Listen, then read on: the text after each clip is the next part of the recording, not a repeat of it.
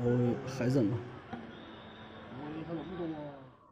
你看这块人好地方。市区的话，那里没有他们所需要的食物，呃，就没有那么多的食物，而且对他们来水，呃，这种这个河流，他们都可以呃一个个的克服，然后去走，而且他们的这种行动呢。亚这九头大象所幸昨天晚上也是没有造成人员的伤亡。那么这些大象它们是从哪儿来的？刚才也说了，是这头山头。我们现在可以看一下。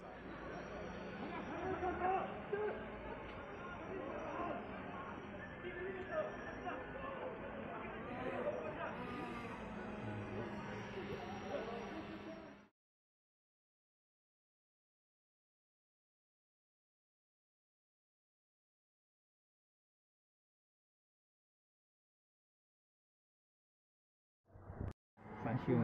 嘛，一个多万个几百。哦。